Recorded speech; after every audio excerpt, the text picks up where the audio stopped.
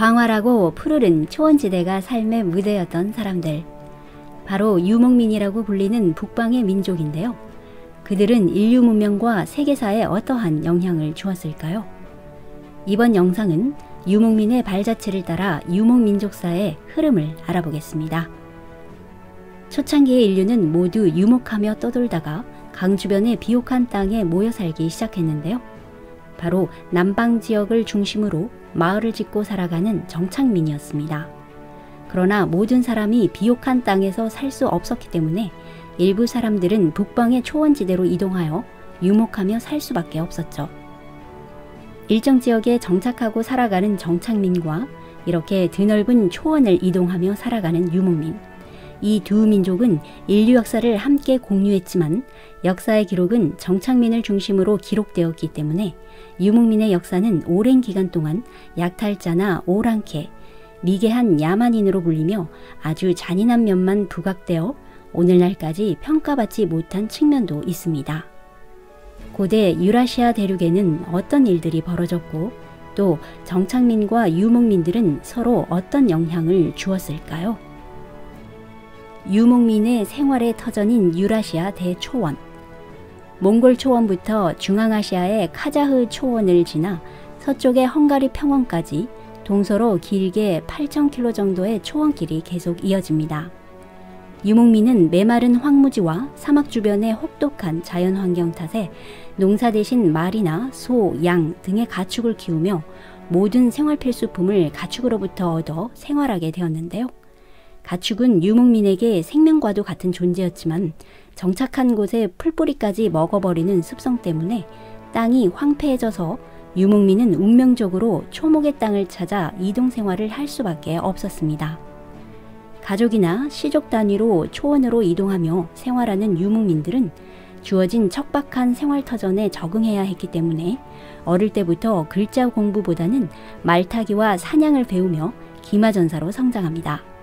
그리고 정착민과는 다르게 여성이 부족해서 결혼하기가 쉽지 않아 약탈혼이 많았고 왕이 죽으면 주변의 신하들도 함께 목숨을 끊는 순장제도도 있었습니다. 그리스의 역사가 헤로도토스의 기록에 의하면 기원전 10세기경 지금의 러시아 남부 흑해 연안의 초원지대에 살았던 킴메르라는 유목민이 처음 등장하는데요. 그들은 대부분 인도 유럽어족이지만 최근에는 아시아계도 일부 존재했다라는 주장도 있습니다. 킴메르족 등장 이후 기원전 8세기경 중앙아시아에서 철제 무기로 무장한 스키타이라는 강력한 기마 유목민이 등장하는데요. 스키타이라는 말은 궁수란 뜻으로 그리스어에서 기원되었고 페르시아에서는 사카족이라고도 했습니다. 이들은 선주민인 킴메르족을 몰아내고 흑해 연안의 초원을 장악했는데요. 주변 세력을 확대시키고 그리스의 폴리스들과 오랜 기간 무역 교류도 활발했습니다. 초기의 스키타이는 이란계 유목민이었지만 점점 다른 이민족들과 뒤섞이면서 스키타이라는 하나의 정체성을 확립시킨 것으로 추정되는데요. 스키타이 일파 중에서도 마사게타이족은 전쟁의 여신 토미리스 여왕이 이끄는 강력한 부족으로 페르시아 제국의 키루스 대왕과의 전투에서 승리를 거둔 것으로 유명합니다. 호전적인 스키타이는 동서에 걸쳐 큰 세력을 떨치며 주변 국가들의 공포를 불러오기도 했지만 기원전 4세기 이후로는 서방에서 몰려온 켈트 왕국 등의 압박으로 점점 힘을 잃어갑니다. 중앙아시아와 인도 북부까지 세력을 확장했던 스키타이의 또 다른 일파들도 흉노와 월지와의 전쟁으로 힘이 약화되면서 서서히 다른 유목민들과 융화되어 역사 속으로 사라지게 됩니다. 스키타이는 사라졌지만 그들의 우수한 철제 기술과 기마술은 동서로 전파되어 특히 흉노와 중국 전국시대 나라들에게 군사적으로 큰 영향을 주었다고 합니다. 최초의 유목 국가인 스키타이가 역사 속으로 사라지자 유목민들의 주 활동 무대는 몽골 초원으로 옮겨갑니다. 동아시아 몽골 초원의 유목민들은 크게 몽골계, 투르투계, 퉁구스계 등 많은 계통이 있는데요. 이들이 세운 나라 중에서도 흉노 제국, 돌걸 제국, 몽골 제국 이 세 개의 유목 제국을 중심으로 수많은 유목 국가들이 남방 지역의 정착 국가들과 기나긴 패권 전쟁을 반복하게 됩니다. 스키타이가 사라진 후 가장 먼저 존재감을 드러낸 부족이 강력한 기마 유목 민족인 흉노였는데요. 사마천의 사기에 따르면 흉노는 기원전 4세기경 중국 전국 시대에 등장하기 시작합니다. 그 당시 고대 중국 왕조는 자신들 이외의 주변 나라들을 모두 오랑캐로 여기며 멸시했는데요. 흉노만큼은 두려운 존재였다고 합니다.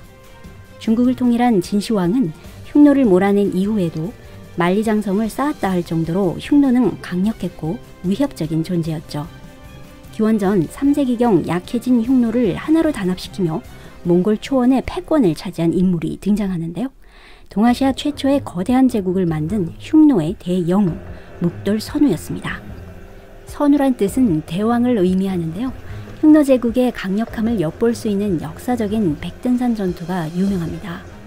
흉노 제국 당시의 남방의 상황은 진시황의 진나라가 멸망하자 초나라의 항우와 한나라의 유방이 제국을 차지하기 위해 치열한 전투를 벌이죠. 그 결과 유방이 천하장사 항우를 이기고 한나라를 세우는데요. 기세 등등한 유방은 북방으로 눈을 돌려 오랫동안 눈에 거슬렸던 흉노를 손보기 위해 수십만의 대군을 이끌고 직접 흉노터벌에 나서게 됩니다. 그러나 자만에 빠진 유방의 군대는 흉노 제국의 압도적인 힘 앞에 무릎을 꿇고 황제인 유방의 부대가 포위당하는 상황이 발생하면서 유방의 목숨은 묵돌 선우의 손에 달려있게 되지요. 굴력적이게도 한나라는 많은 조공과 왕실의 공주까지 바치는 신세가 되었고 한나라 황제 유방은 묵돌 선우를 형으로 모시겠다는 내용의 화친 조약을 맺고 유방은 가까스로 풀려납니다. 훗날 유방은 죽기 직전에 두 번 다시 흉노에 대항하진 말아라 하는 유언을 남길 정도로 흉노 제국의 힘과 영토는 당시의 한나라를 훨씬 능가했던 것입니다.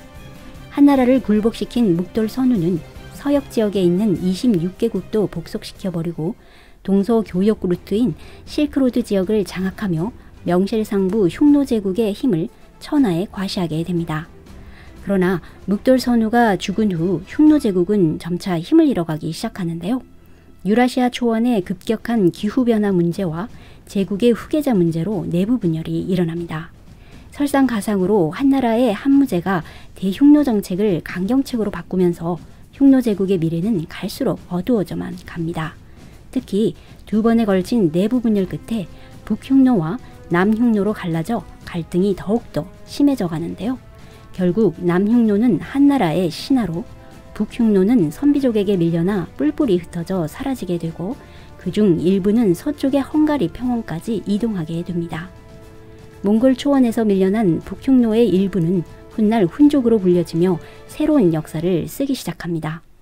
알렉산더 제국의 알렉산더 대왕, 몽골 제국의 칭기스칸, 그리고 훈 제국의 아틸라가 세계 3대 정복자로 역사에 이름을 남기게 되는데요.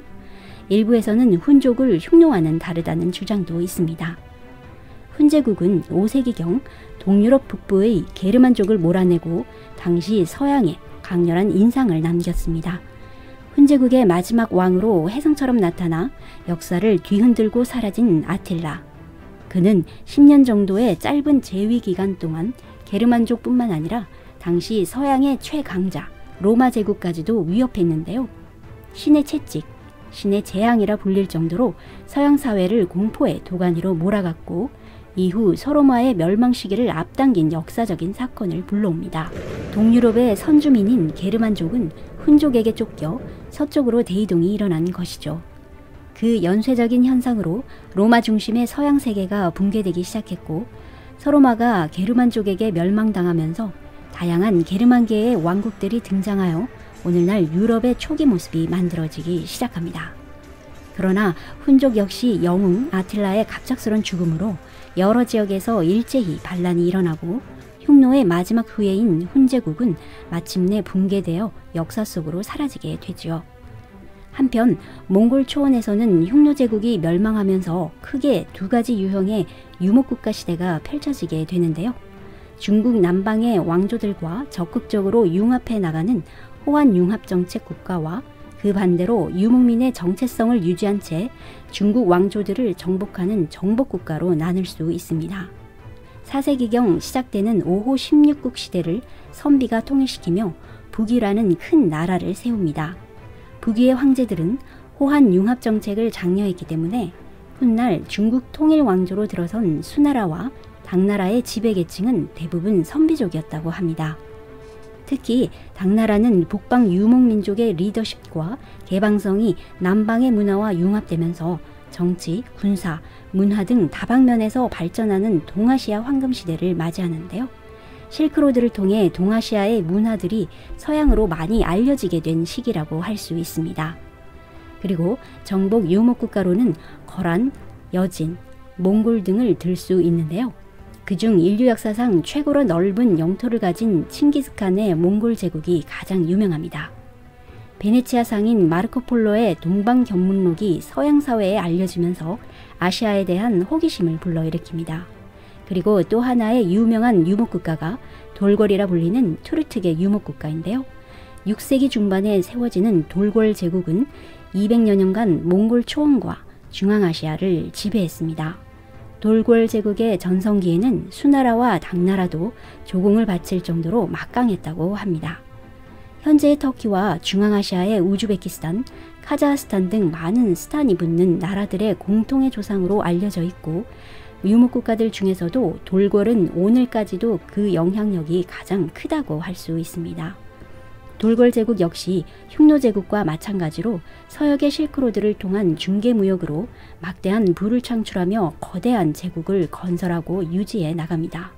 그러나 점점 강대해진 당나라와의 전쟁이 일어나고 적의 이간책과 내부의 후계자 문제까지 겹치면서 결국 동서로 분열되어 당나라에 의해 멸망당하게 되죠. 돌골 제국 멸망 이후에도 위구르와 토번 등의 많은 유목 국가들과 중국 왕조들의 대립은 계속되어집니다.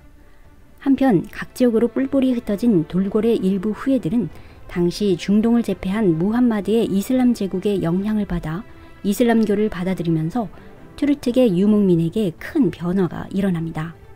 유목민의 고질적인 약점이 단결력 부족이었는데요.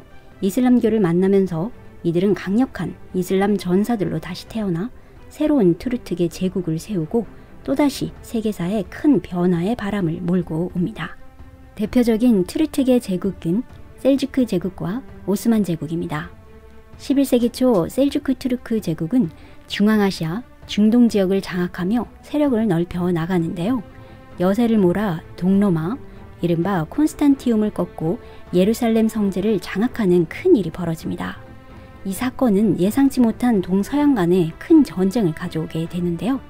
서양의 수많은 왕국들이 예루살렘 성지를 탈환한다는 구실을 앞세워 중동 지역으로 쳐들어오게 됩니다. 무려 아홉 번에 걸친 기독교 세력과 이슬람 세력이 충돌하는 대규모 종교 전쟁, 바로 십자군 전쟁이 발발하게 됩니다. 200여 년 동안 치열했던 십자군 전쟁 이후 서양은 중세 암흑 시기로 빠져들며 문명이 후퇴되고 이슬람 세계에도 많은 변화가 일어납니다. 셀주크 제국도 십자군 전쟁으로 인해 힘을 잃어가고 그 와중에 몽골 제국의 세력이 커지면서 결국 100여 년 만에 사라지게 되죠. 그러나 몽골 제국 역시 후계자 문제 등으로 세력이 약해지자 그 틈을 타서 또다시 트루트계의 오스만 제국이 힘을 키워갑니다. 15세기 초 작은 나라였던 오스만 제국은 정복전쟁이 난립했던 시기에 성장해서 큰 제국을 완성해 나가는데요. 건국 이래 천년 이상 지속되어 온 비잔티움 제국을 멸망시킵니다. 수도인 콘스탄티노플을 점령해 이곳을 오스만 제국의 새로운 수도, 이름을 이스탄불로 바꾸면서 전 세계적인 영향력을 미치는 강력한 패권 국가를 완성시킵니다. 전성기 때는 유럽, 아시아, 아프리카 3대륙에 걸쳐 광대한 영역을 지배하는데요. 오스만 제국은 아테네까지 손에 넣게 되자 동서양을 이어주는 무역로를 모두 차단시켜버립니다. 이 사건은 또다시 서양의 대전환을 가져오는 충격적인 일이었습니다. 이 변화가 바로 대항해 시대의 서막을 올리는 단초가 되었기 때문이죠. 대항해 시대는 15세기 초부터 18세기 중반까지 콜럼버스의 신대륙 발견을 필두로 수많은 나라들이 새로운 해상 실크로드와 황금의 땅을 찾아 전 세계의 바다를 누비고 다니는 붐이 일어난 시기입니다. 서양 국가들은 세계 각 지역에서 대량의 살육과 전쟁을 일으키며 수많은 식민지를 건설하게 되는데요. 식민지로부터 착취한 엄청난 부로 화려한 르네상스 시대를 맞이하면서 근대 서양의 제국주의가 눈을 뜨게 됩니다. 대항해 시대를 기점으로 세계의 패권은 동양에서 서양으로 점점 힘의 추가 옮겨가기 시작했던 것입니다. 한편 오스만 제국은 후대에 이르러 변화하는 시대에 적응하지 못하고 무능한 황제까지 잇따라 배출되면서 쇠락하기 시작했는데요. 결국 제1차 세계대전으로 600여 년간의 오랜 영광을 뒤로하고 서서히 사라지며 오늘날의 터키 공화국으로 개편되어 명맥을 이어나가고 있습니다. 유목민족은 고대부터 이처럼 잔인한 약탈자 혹은 동서양의 문화를 연결해주는 중개자로서 인류 세계사에 기록되어져 왔는데요. 세계사 대변화의 길목에는 언제나 유목국가들이 활약을 했었습니다. 이후 총과 대포 앞에 활과 말들은 상대가 되지 못했고 축산업과 생활 환경의 변화에 의해 유목의 필요성이 떨어지자 서서히 역사의 무대에서 사라져 잔인한 약탈자의 이미지만이 강조되어 왔습니다. 최근 유목민족에 잘 알려져 있지 않은 문화와 역사가 일방적인 시선에서 벗어나 조금씩 새로운 각도에서 재해석되고 있습니다. 이상으로 유목민족사의 큰 흐름을 알아보았습니다. 끝까지 시청해주셔서 감사합니다. 좋은 하루 되세요.